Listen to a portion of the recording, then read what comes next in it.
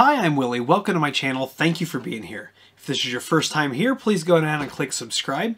If you're a return viewer or subscriber, thank you very much. I do appreciate each and every one of you. If you need IT consulting, go to williehowe.com, fill out that contact form, and someone will be in touch with you as soon as possible. What we're going to talk about tonight is how to install TunnelBlick on your Mac to use OpenVPN. So let's hop on over to the Mac.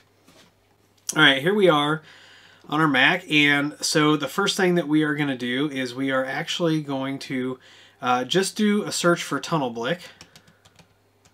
I think it's actually one word. I typed it as, as two, but you can see it's uh, TunnelBlick. It is one word. And what we're going to do is go over to download. So even OpenVPN, uh, I have seen where they have recommended TunnelBlick as well. You can do the OpenVPN client. Um, in my opinion, it is not as it's not as slick and it is not as well done as TunnelBlick. TunnelBlick is done very, very, very well. So we're over here at tunnelblick.net. I'll put this link down below. We're going to click on downloads. We're not going to use the TunnelBlick beta. We are going to um, use TunnelBlick 3.8.4a. And over here you can see it says works on M1 using Rosetta. So we may uh, have to get Rosetta. So we'll see how that works out for us. So let's download this. And there's our download. And we'll open this up. And double click to begin. So we'll double click.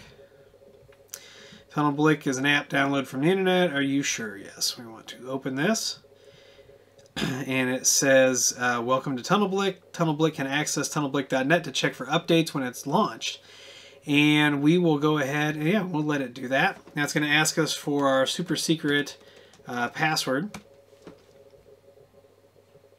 So we'll put that in and we'll minimize this.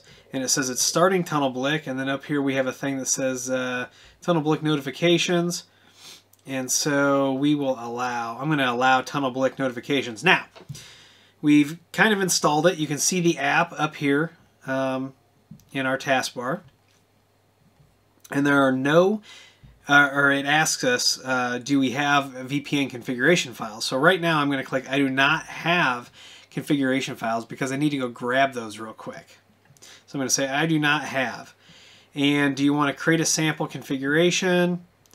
Um, no, not really. So I'm just going to click back, and I guess what we're going to do is we're just going to go grab those real quick. So I've got to log into um, my NAS where that's at, and I have to grab the file. So uh, I'll be right back. Okay, so I found my OpenVPN file that gets me connected back here. And what I'm going to do now is I'm going to come back over to TunnelBlick and I'm going to say I have configuration files. And what it wants us to do is to install that is actually just drag the file to uh, TunnelBlick. So we'll click OK there. I'm going to take this vpn.williehowe.com.ovpn file and I'm going to drag it up to TunnelBlick and you'll see it gets the little plus there. So I'm going to let it go and it's going to ask do we want to install this configuration for all users and do we, do we want to do only me or all users. I'm going to say only me we're going to put in our super secret password. And now you can see TunnelBlick successfully installed one configuration. And if I uh, uh, open that up, you can see where it says connect vpn.williehowe.com. And that is how easy it is to install TunnelBlick and install the configuration on a Mac. So if you've got any questions about this, um, once again, I'll kind of reiterate, we're going to do a Linux version of this as well. Um, so on Windows, we do recommend the community build of the OpenVPN client. On Mac, we recommend TunnelBlick, and then when we get to the Linux side, we'll look at our Linux options. But that's it, super easy. So if you need help with your OpenVPN configuration, whether it's on Synology or OPNsense or pfSense or whatever it's on, you know, make sure you reach out to us down below. That's part of the consulting services that we do offer. And if you like this video, please give me a thumbs up. Please subscribe. Please comment share. Please follow me on Twitter and Instagram and TikTok link is down there as well. If you do need IT consulting, go to williehowe.com, fill out that contact form, and someone will be in touch with you as soon as possible. If you'd like to support the channel by um, using all of our affiliate links, those are down below. They don't change your price, but they do kick a couple bucks over to the channel. Patreon will probably be coming back soon. They made some other changes, so we're evaluating that. So that that may be coming back.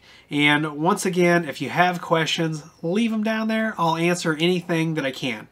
I'm Willie. I want to thank you for being here, and as always, I'll see you in the next video.